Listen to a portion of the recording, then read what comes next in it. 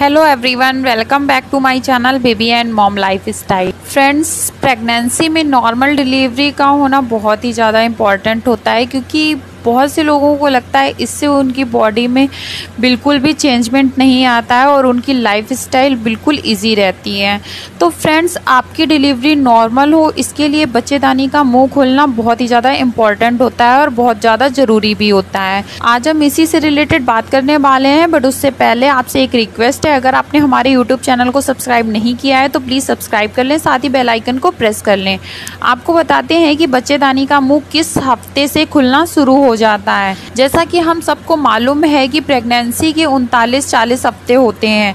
तो उनतालीसवें हफ़्ते में बच्चेदानी का मुँह खुलना स्टार्ट हो जाता है, यानी कि हल्का हल्का सा खुलने लगता है, क्योंकि डिलीवरी के पाँच से छः दिन पहले से ही धीरे धीरे सर्विक्स का मुँह खुलने लगता है। इसलिए प्रेगनेंसी के लास्ट टाइम पर डॉक्टर आपको हर हफ़्ते चेकअप के लिए बुलाते हैं और प्रेगनेंसी के अड़तीसवें या उनतालीसवें हफ़्ते में डॉक्टर आपको फिंगर टेस्ट करते हैं, क्योंकि इस टेस्ट से ही पता चलता है कि बच्चेदानी का मुँह खुला है या नहीं, या फिर अभी टाइम है।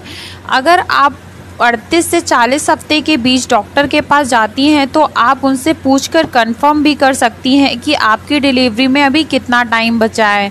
तो आपको समझ में आ गया होगा कि उनतालीसवें व चालीसवें हफ़्ते में सर्विक्स का मुँह खुलना शुरू होता है।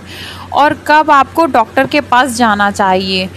फ्रेंड्स, ये वीडियो आपको कैसा लगा प्लीज़ कमेंट करके बताएँ और अच्छा लगा हो तो लाइक एंड शेयर ज़रूर करिएगा। प्रेगनेंसी से रिलेटेड और वीडियो देखने के लिए आप हमारे YouTube channel baby and mom lifestyle पर विज़िट कर सकते हैं और अगर आपने अभी तक हमारा चैनल सब्सक्राइब नहीं किया है तो प्लीज़ सब्सक्राइब कर लें, साथ ही बेलाइकन को प्रेस कर लें। Thank you for watching this video मिलते हैं अगले वीडियो के साथ, तब तक के लिए बाय बाय